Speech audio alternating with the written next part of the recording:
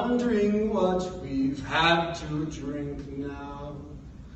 And you may think now they've gone too far. But something we should not have been exposed to. We got too close to by swimming out of Peter's raft.